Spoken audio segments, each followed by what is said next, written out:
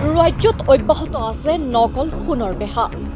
ৰঙিয়াত নকল সোণ নকল টকাসহ পাঁচ ব্যৱসায়ী আটক। ৰাজ্যত অব্যাহত আছে নকল সোণৰ ৰমৰমীয়া ব্যৱসায়। ৰঙিয়া আৰক্ষীৰ জালত পাঁচ নকল সোণ আৰু জাল নোট ব্যৱসায়ী। বিশেষ সূত্ৰৰ খবৰৰ ভিত্তিত ৰঙিয়া আৰক্ষীয়ে নিশা ৰঙিয়া ষ্টেচন ৰোডৰ শুভম হোটেলত অভিযান চলাই আটক কৰে পাঁচ নকল সোণ আৰু জাল নোট ব্যৱসায়ী অভিযানকালত ব্যক্তিকেইজনৰ পৰা ছটা মোবাইল ফোন এখন নকল সোণৰ নাও এটা সন্দেহজনক নকল টকাৰ বান্দিল নগদ দুশ চল্লিছ টকাৰ লগতে এখন ৰঙা ৰঙৰ মাৰুতি ছুইফ্ট বাহন জব্দ কৰে আৰক্ষীয়ে। জব্দকৃত বাহনখনৰ পঞ্জীয়ন নম্বৰ হৈছে A S zero' one F K nine nine zero' one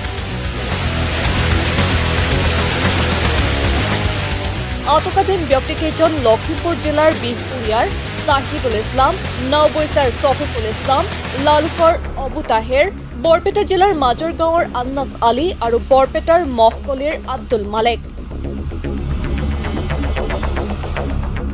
আটকাধীন নকল সোণ ব্যৱসায়ীকেইটাৰ মাজৰ এটা ব্যৱসায়ীয়ে সংবাদ মাধ্যমৰ সন্মুখত প্ৰদান কৰিছে কেতবোৰ বিস্ফোৰক মন্তব্য।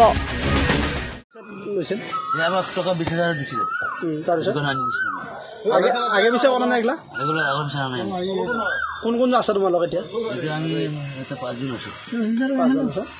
আৰু এটা যে পইচাৰ সেইটো কোনে? পইচা নাছিলে এইটো। কি আছিলে এইটো কাগজ হয়। এইটো কোনে কৰিছিলে ৰচিদলৈ আপোনালোকে কাক দিব আহিছিলে এইটো? সিয়ে আনিছিলে একজনক দিবলৈ। আমাক পইচা দিব বুলি ৰচিদলৈ পঠাইছিলে। তহঁত যা তাৰ লগত যা। তাৰ পৰা আগে এই ৰচিদুল আহ, বোলা ব্যক্তিজন ক'ত ঘৰ এইটো হয় লখিমপুৰত ঘৰ হয়। সি লখিমপুৰ মেইন মাষ্টাৰ মানুহ হয়। এই সোণৰ নাওতে সি দিছে। আৰু সিয়ে দিছে। সিয়ে এইটো বিজনেছ কৰে আকৌ চাৰেণ্ডাৰ হৈ আছে আকৌ আহি আছে। তাৰ বিজনেছ এইটো। আৰু আগে পিছেও তেওঁ আগে কৰি পিছে থাকে। নাই সি আগত কৰিছে আমি চাইছো নিউজত ধৰিছে সি। একবাৰ ট্ৰেনাচাৰ হৈ আছে আকৌ কৰি আছে।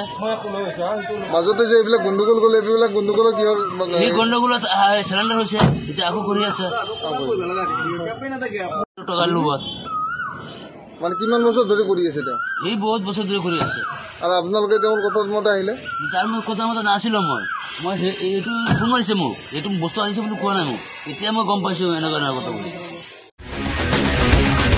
আটকাধীন নকল সোণ আৰু জাল নোট ব্যৱসায়ীকেইটাক অধিক তথ্য লাভৰ বাবে সোধপোছ অব্যাহত ৰাখিছে আৰক্ষীয়ে। Bureau' report, my news any.